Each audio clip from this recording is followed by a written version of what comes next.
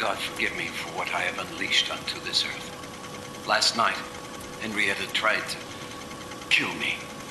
It's now October 1st, 4.33 p.m. Henrietta is dead.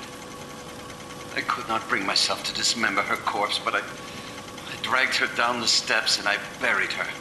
I buried her in the cellar. God help me. I buried her in the earthen floor of the fruit cellar. I'm going to leave here now while there is still daylight. Will drive to the nearest telephone to warn Annie and Ed not to come here. Annie can never know what became of her mother or that poor innocent girl in the cellar. We'll never return to this horrid place, and I pray that no one else discovers it. However, as a precaution, I've recorded a guide that utilizes specific passages from the book, and I will leave it behind. If followed, may put an end to this evil presence and return it to the netherworld.